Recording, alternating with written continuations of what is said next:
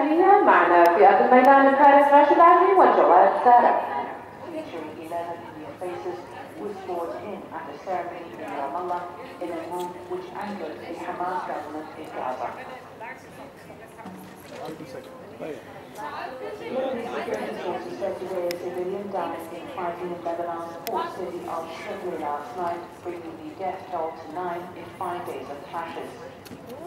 The fighting in Tripoli, 70 kilometers north of the violence in Syria was spilled into Lebanon, which was garrisoned by Syrian troops until 2005.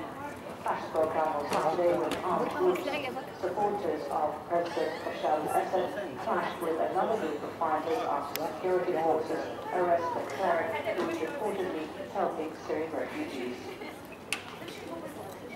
A drone strike in Yemen killed two suspected al-Qaeda local security official said that the unmanned aircraft hit a car in the province of Hadramaut. He added that the strike caused a series of blasts because the vehicle was carrying explosives. Iran's top nuclear negotiator Saeed Jalili said today that